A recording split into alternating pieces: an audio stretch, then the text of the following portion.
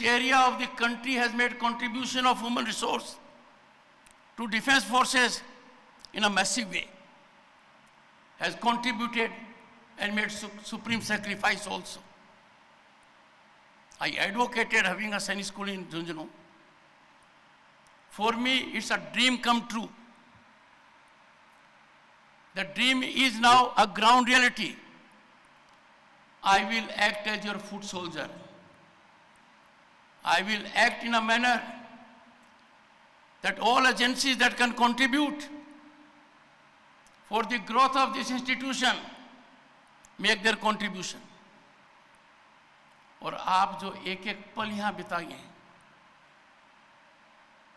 that will script your life journey.